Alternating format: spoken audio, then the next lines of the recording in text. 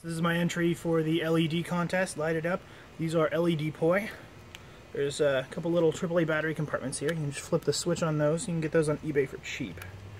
And uh, the fun part about this is not only that they have just one single LED unit that's a black light, so these last like 50 something hours, but you can turn these back off because I printed them in Hatchbox PLA. That's without it on and that's with it on. Cool. So let's get these things spinning.